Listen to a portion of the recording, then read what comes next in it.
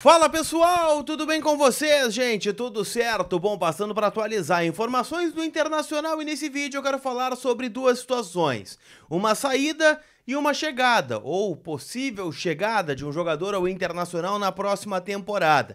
Quero falar também, gente, sobre o jogo da próxima quarta-feira, também conhecida como amanhã, onde o Colorado recebe o América Mineiro, o Lanterna do Campeonato Brasileiro, no estádio Beira Rio para tentar uma reabilitação e, quem sabe, né, alçar voo maior dentro do Campeonato Brasileiro. Eu te conto isso e muito mais depois da vinheta.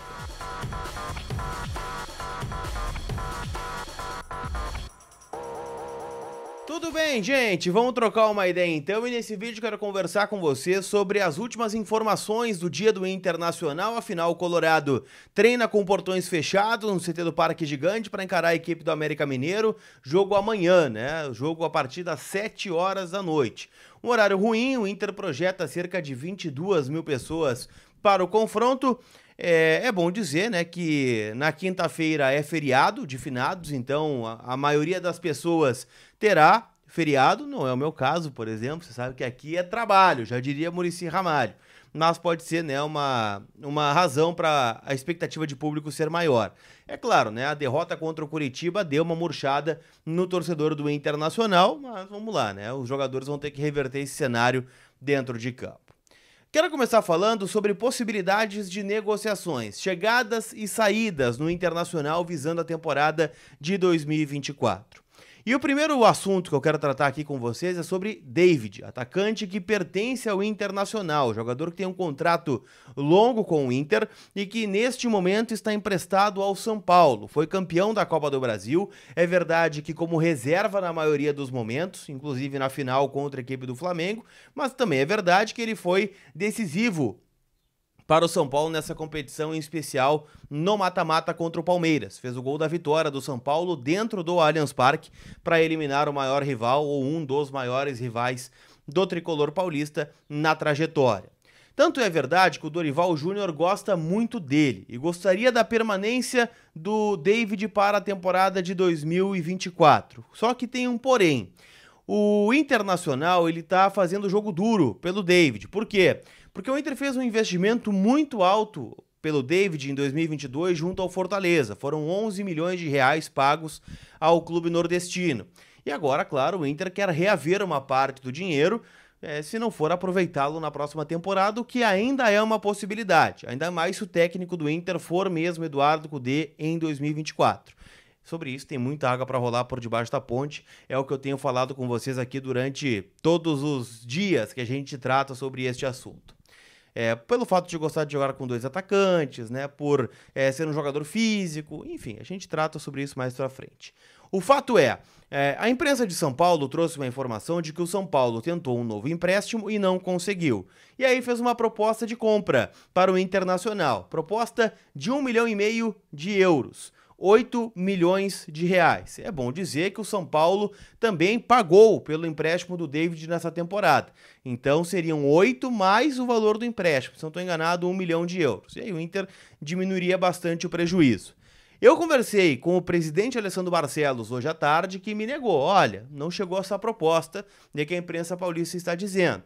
Mas a gente sabe, né, que nessa época de negociações, os dirigentes nunca costumam confirmar muita coisa. Então fiquem o, a informação da imprensa de São Paulo, o Inter teria recusado esta oferta e aí muito provavelmente o David voltaria ao Internacional na próxima temporada, porque São Paulo entende que mais do que isso não vai pagar. Então, um milhão e meio de euros foi a oferta do tricolor paulista por David. É um bom valor? Não é? Deixa no comentário a tua opinião, que é sempre muito importante aqui dentro do canal. Quero trazer uma informação sobre chegada agora. Afinal, o pessoal da revista Colorada, né, que está sempre aí por dentro das informações do mercado da bola, conversou com Juan Carlos Calero, que é um diretor esportivo do Celta de Vigo, clube espanhol, onde joga Franco Serve, o argentino que sempre esteve na mira do Internacional. O Servi entra naquela prateleira de jogador que toda janela de transferências a gente dá uma especulada. Afinal, o Inter não nega né, o, a admiração que tem pelo futebol do Servi e o próprio técnico Eduardo Cudê, se de fato permanecer na próxima temporada, é um técnico que também gosta de contratar jogadores com quem já trabalhou. Trouxe agora, por exemplo, o Hugo Malho, lá do Celta de Vigo, né, na sua passagem em 2021 trabalhou por lá com o lateral espanhol. E o Servi está em final de contrato. O contrato do Servi acaba na metade da temporada de 2024. E o Inter tem interesse, está monitorando. A imprensa né, espanhola já falou sobre uma possível briga entre Inter e Palmeiras por este jogador. E o Caleiro acabou falando com os guris da revista é, que não pode fornecer informações sobre este assunto e que agora o Celta está trabalhando apenas para conquistar novas vitórias. O que, que isso quer dizer, gente? É, vocês talvez não saibam, mas dentro do futebol, né, nesta relação diária entre dirigentes e imprensa, a gente tem um código. Não é não. Né, quando é um não mais efusivo, quando é um talvez, ou não posso falar, ou não tenho maiores informações para te dar, é porque tem alguma coisa acontecendo. Então o Inter trabalha com a ideia de Franco serve para a temporada de 2024. Para mim seria um reforço espetacular, uma grande reposição em caso de venda do Maurício para o mercado estrangeiro na próxima temporada, o que a gente sabe, né, que pode acontecer. Né? O Maurício sempre cotado aí para deixar o clube, então é algo que volta e meia está na mira do Internacional. Beleza? Então, não esquece, deixa o teu comentário que, como eu sempre digo, é importantíssimo aqui dentro do VDG, do VDG e do canal do Colar. Mais ágil, antecipa o saldo do FGTS em menos de 24 horas, dinheiro na conta, de forma rápida, segura e livre de burocracia. Então, até 10 saques do teu FGTS na conta ainda hoje. Então, chama eles, link na descrição do vídeo ou no WhatsApp que está entrando aqui na tela.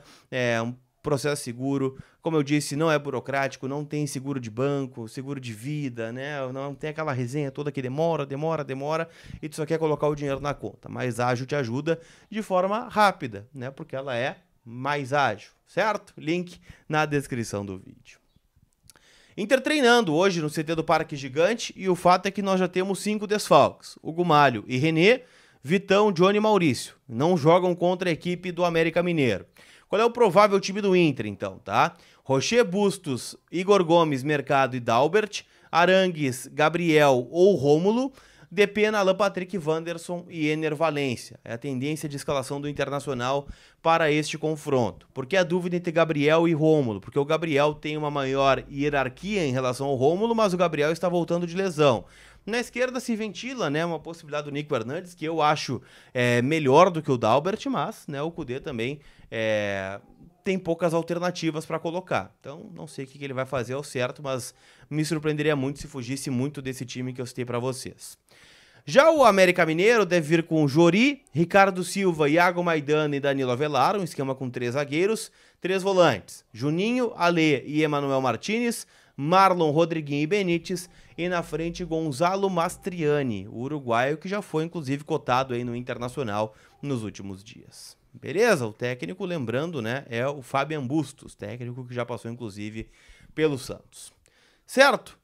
Palpites? KTO.com. Te registra para dar aquela brincada. Usa o código COLAR para garantir 20% de free bet no teu primeiro depósito, tá bom? KTO é minha parceira e você sabe, né? Se divirta, né? Jogue com responsabilidade. Certo?